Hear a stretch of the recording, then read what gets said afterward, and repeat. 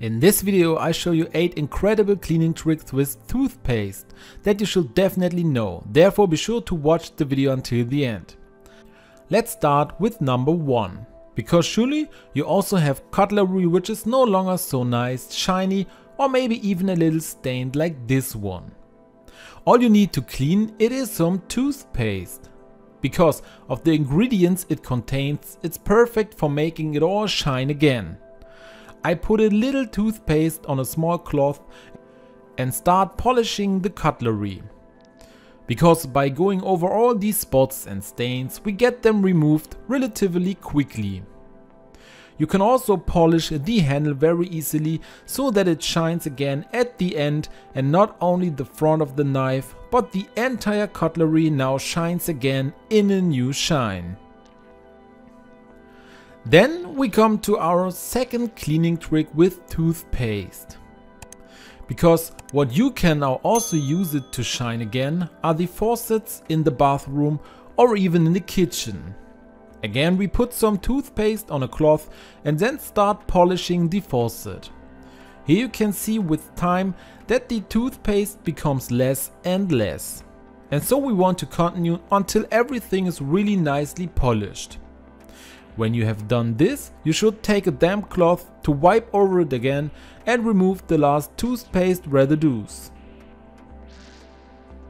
After that, you only have to wipe the faucet dry and then I would like to show you how beautiful it shines now. And all this just because of a little toothpaste.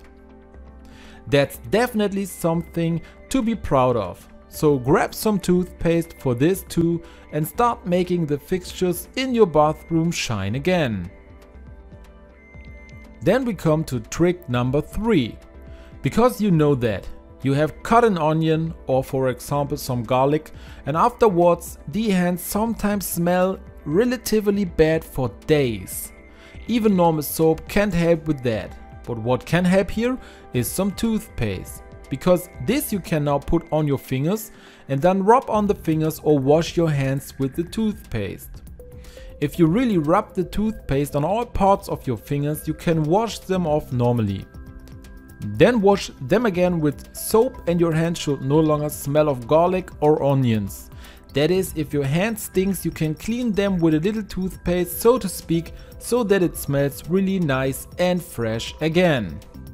And that brings us to cleaning trick number 4. Here we tackle the sink, because here too, in most cases, it's stainless steel. And we get that as you've seen before with toothpaste really really nice to shine. For this I put some toothpaste on a sponge and distribute it now here on the entire sink so that really everywhere something of the toothpaste is to be seen. If you have then distributed everything really nice, you should first let it act a little. I usually wait 10 minutes before I start wiping everything off again. For this we then take a damp cloth or make the sponge a little damp and now wipe everything really really nice.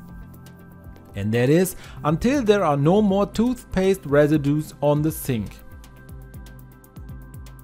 Then wipe everything dry and you see that your sink will shine like it hasn't in a long time. Everything really shines really nice and clean again and just looks beautiful. That was cleaning trick number 4. Let's move on to number 5. Here we tackle our shoes.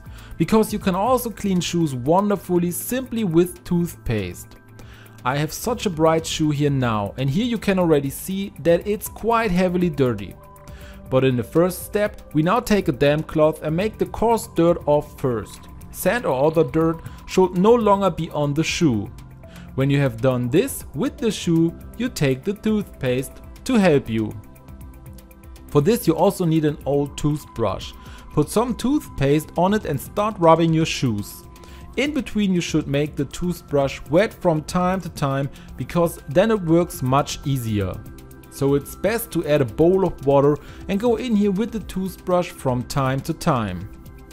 Now scrub your entire shoe with the toothpaste. This is a bit tedious, but if I show you the final result, then you will be convinced and want to clean your shoes only this way.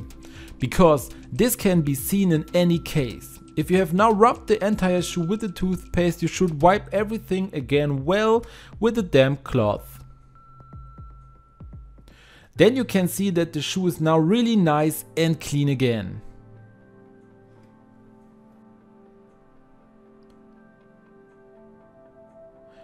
I have now made of this pair of shoes only one shoe clean with the toothpaste and have left the other so that you can see the before and after result. You can see that the upper shoe was not cleaned and it just looks worn. The bottom one actually looks almost like new. This way you get your shoes with some toothpaste again really nicely clean and do not have to buy a new one because the shoes are maybe too dirty.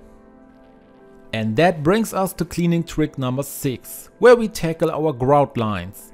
Because while we clean the tiles regularly, the grout joints usually don't quite get along with it because here the floor cloth doesn't go through the grout joints. The tiles get clean but the grout lines get dirtier and darker over time. But even here toothpaste can help us. For this we also take an old toothbrush again, put some toothpaste on it and make it still a little wet and then we rub with it now through our joints. You don't have to do a lot of scrubbing here either. In most cases it's enough to go back and forth a few times. Then you will see how the joints becomes lighter and lighter over time. In a moment I also show you the incredible end result. We're going to wipe through the grout and when you're done you can go through it again with a damp cloth to make sure there's no toothpaste left. I've only done a small piece of the joint now and you can clearly see here how clean that really turned out. And all that thanks to the toothpaste. It's worth it to clean the joints every now and then with toothpaste. And thus we come to cleaning trick number 7. Here we have a cell phone which has some scratches on the screen. In the camera unfortunately you cannot see it this way. These are also only fine scratches and these we can actually fix with toothpaste. However, not if they are already complete cracks. Then you should not use this trick. But for smaller scratches, you can put a small blob of toothpaste on your phone and then start polishing it with a microfiber cloth. The abrasive particles contained in the toothpaste will polish the screen, making it easy to remove even minor scratches. I now keep wiping here until the toothpaste just gets less and less and in the end it has completely disappeared. If you then look at your phone, you will see that most of the scratches are now no longer visible and the phone is free of them again. This brings us to our last cleaning trick number 8. If the children have painted somewhere on the wooden door with wax crayons, then toothpaste can help you to remove them again. For this I now take a cloth, put a blob of toothpaste on it and then start to wipe everything well. And then these smears from the door should be gone again very quickly and thus you can really clean some things with toothpaste. I'm going to link you to another video here in the video where I'm also going to show you 10 incredible cleaning tricks with shaving cream that you should definitely take a look at. If you liked the video then I would be really happy about a thumbs up and don't forget to subscribe to this channel and activate the bell so you don't miss any new video.